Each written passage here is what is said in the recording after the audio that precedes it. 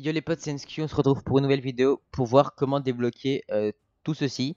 Alors je pensais qu'il fallait participer à l'événement, mais en fait j'ai juste quitté euh, mon créatif, j'étais en live et il y, a des abonnés qui m'ont dit euh, qu'ils avaient débloqué tout ça, juste en lançant leur jeu, donc j'ai quitté ma partie et j'ai eu tout ça.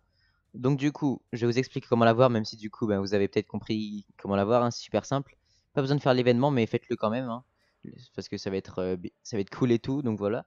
Mais du coup, vous avez juste à lancer votre jeu et normalement vous allez l'avoir. Si vous l'avez pas, lancez une petite game, euh, je sais pas. Ou visitez la scène Travis Scott peut-être, parce que moi je l'avais visité, donc peut-être c'est ça, je sais pas du tout, je pense pas. Mais lancez juste votre jeu et puis dites-moi si vous l'avez ou pas.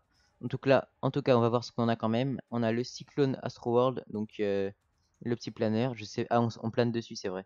On est debout en surfant dessus. Et les deux écrans de chargement, Astro Wild et Cosmic Revolution.